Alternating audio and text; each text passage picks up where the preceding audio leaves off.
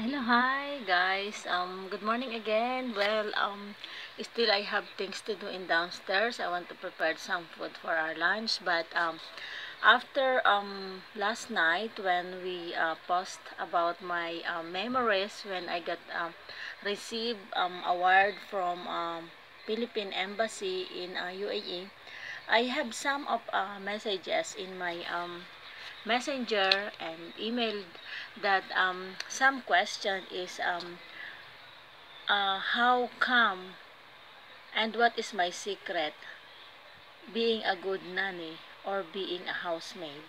Um, I think this is this question is from one of my um, past employer.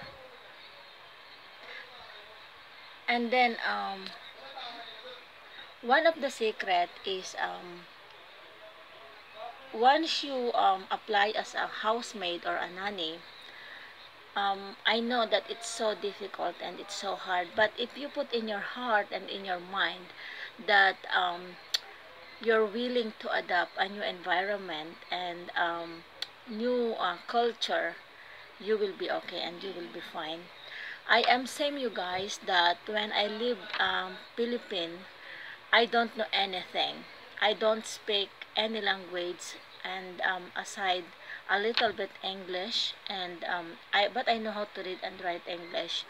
Uh, but in um, speaking English it's about I am a little bit um, less you know.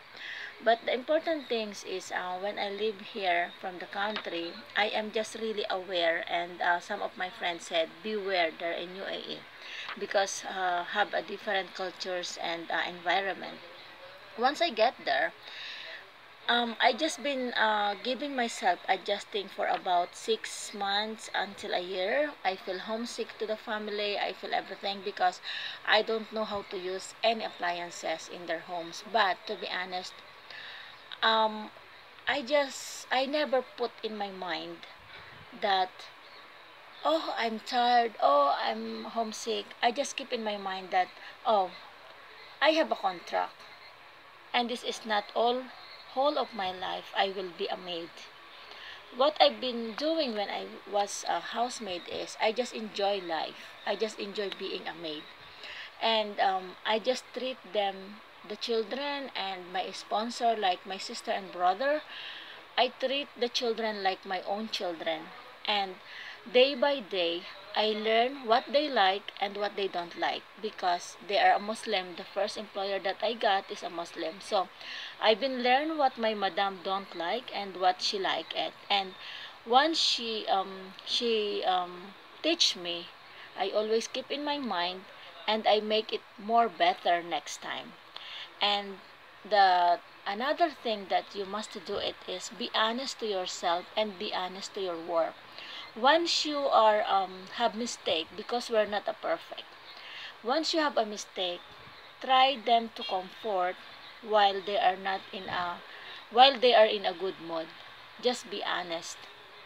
And um, just think in yourself that oh I just have two years contract and it's not whole of my life. I'll be a maid you know so in that is my secret when I was in um, UAE afterwards um, because when I was in uh, Arabic I don't have any day off I don't have a time for myself I just been keep learning by using uh, reading in my room when I have a time. I just keep reading and listening to the radios and some advice of the um some of the professors some of the um specialist, you know, that they've been giving an advice in the radio station. And when I get on a day off, when I transfer to the Western family, to the American and the British family, I have a time to work. So I spend my time um, during my day off.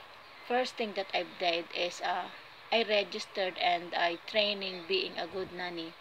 The second time is um, to get more knowledge being a nanny in a western uh, children.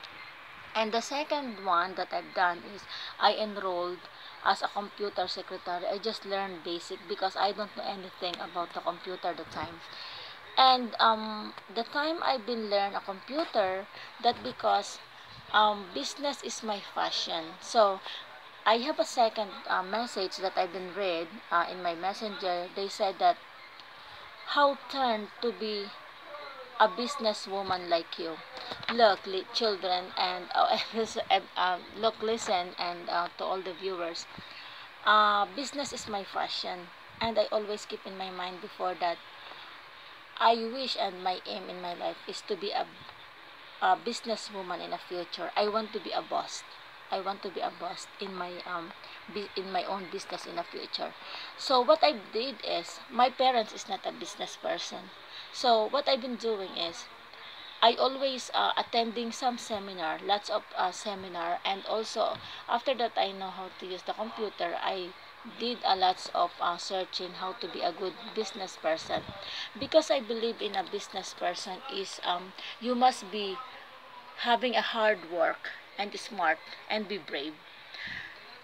Uh, what is the thing that um brave I can say is because the business is like a lottery as my experience. Sometimes you lose, sometimes you win. But in all mistake that you have done, don't uh, forget that mistake that you have done. You must be inspired to that mistake that you have done because it will give you the way how to be a success uh, businesswoman in the future.